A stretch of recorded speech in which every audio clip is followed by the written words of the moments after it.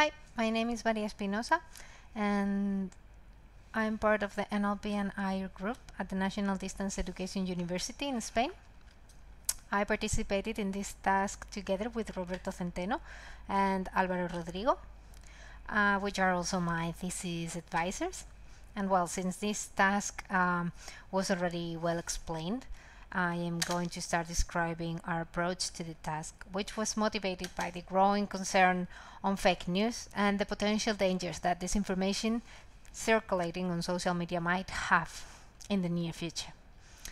In order to understand um, the decisions um, that we took in the design of our model, it is important that we understand um, our main hypothesis which aims to differentiate between the content created by the user and then shared in the network um, and the content shared by the user but not created by, by himself or herself, like for instance retweets.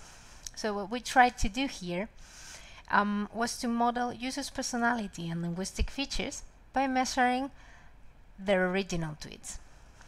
And then other features of the user behavior were taken from from other kind of contents, like in this case, the retweets.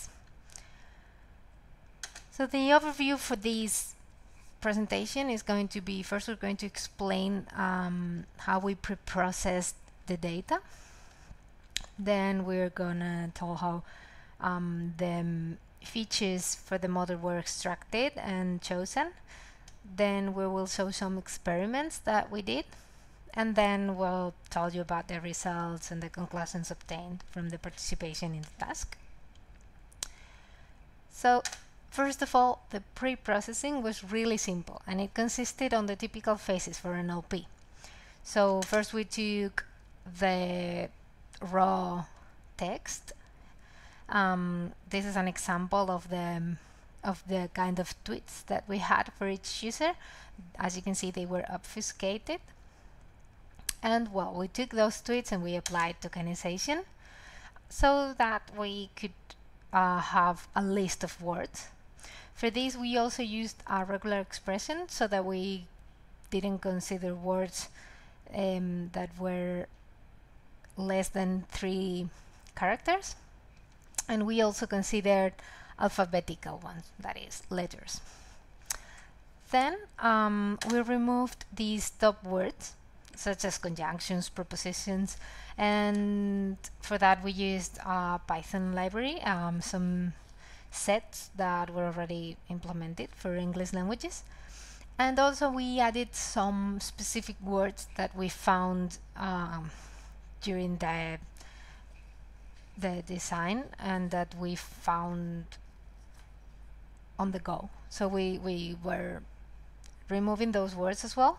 And finally, we did an aggregation of the tweets, um, which um, consisted in just uh, putting together all the words that we obtained for one user, so that we only had a list of tokens uh, for, a, for a user.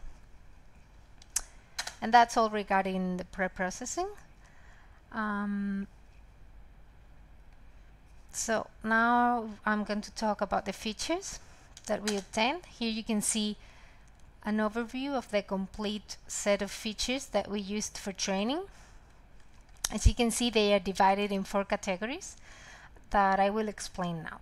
First, I wanted to remind you that these features were extracted according to our hypothesis and were therefore applied differently to tweets than to retweets.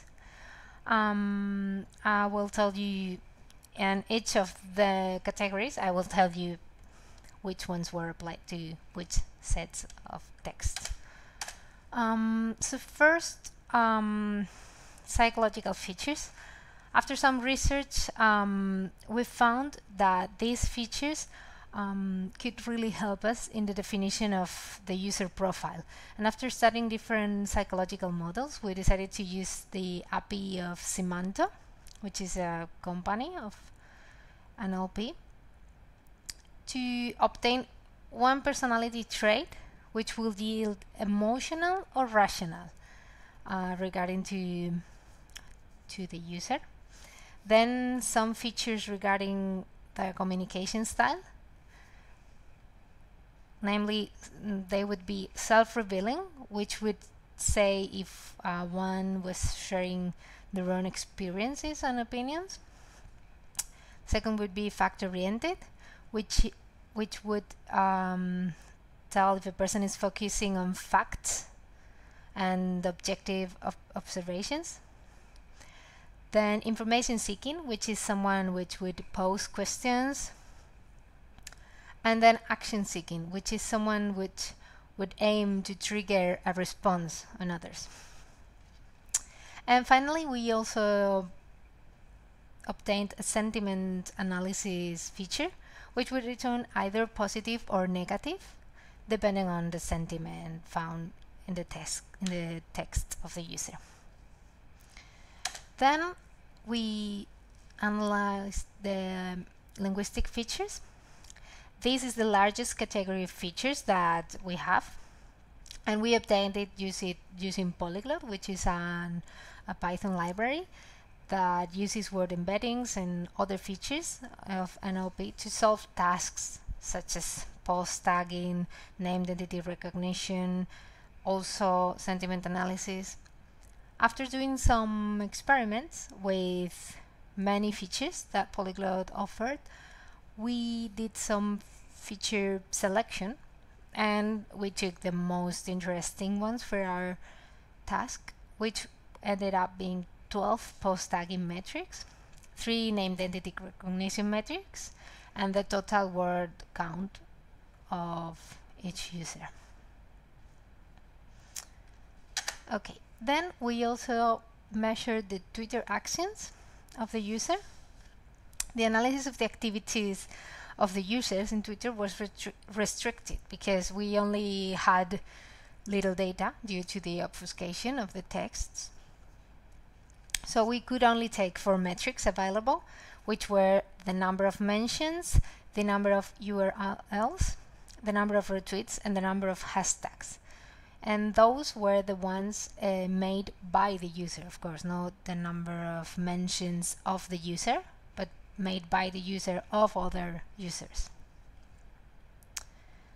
and finally we did some headline analysis um, on the retweets shared by the users we decided to analyze analyze them as if they were headlines assuming that a retweet is more likely to be a news headline than a tweet.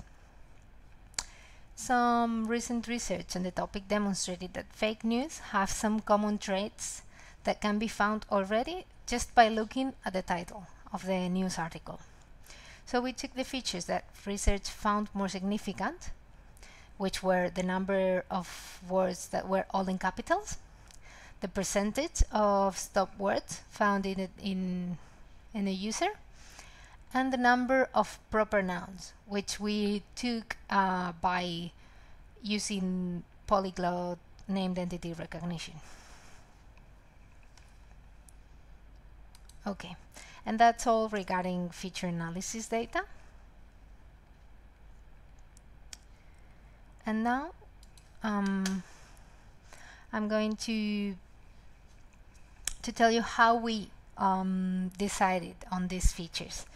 Uh, first, we did some experiments in which we trained several models using different machine learning algorithms to see how relevant these sets of features were.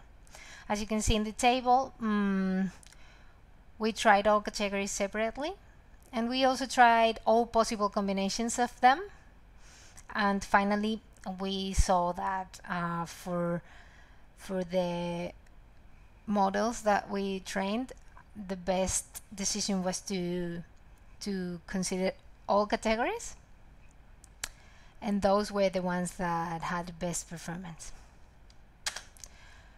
As you can see here we compare the performance of the different algorithms and you can see that random forest had the best performance in terms of accuracy and precision. Um, also in the last table you can see that the best performing features were the ones corresponding to category 2, which is linguistic features, and also psychological features, category 1. So we decided to use all features for the final model and also uh, train our model with a random forest classifier. Okay, before jumping to the results, uh, there are a couple of things to know. Um, because we participated in the early bird evaluation as well in order to get familiar with the um, platform and also to to spot some issues and we did spot some. Uh, first of all we we tried to add psychological features but we could not do it in the early bird submission because uh, since we were using an external API um, we had to ask for permission um, to the organizers and they also had to do some adapt some adaptations um, in the platform so that we could do that. So we had to exclude those features for the first submission that we did for the early bird. Then also um, the separation of user original tweets from retweets as well as the headline analysis data they were were applied to the model for the final submission. So we did we didn't use those features for the early bird submission either. Okay, and here we can see some results.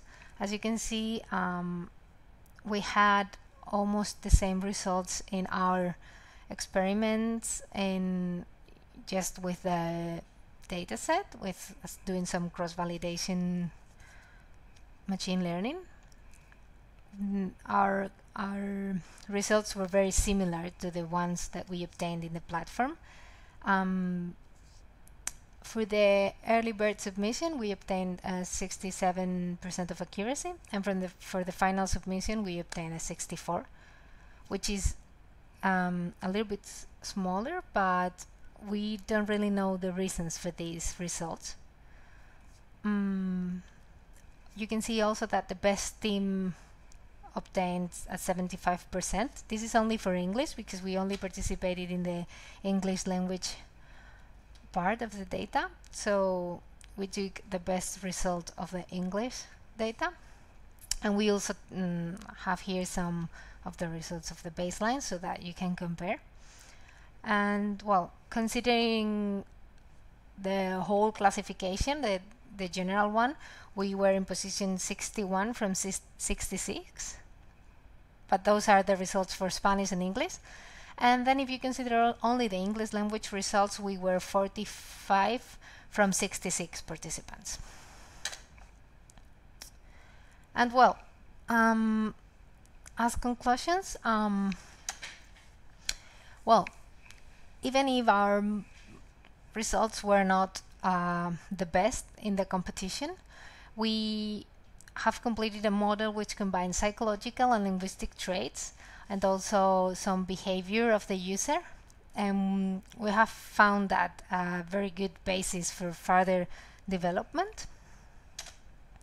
And also, we have found that our results in development and test are really consistent, which means that, of course, despite all the improvement that our model needs, it is robust and the performance can be expectable with other datasets sim since we didn't perform uh, fine-tuning regarding this data concretely.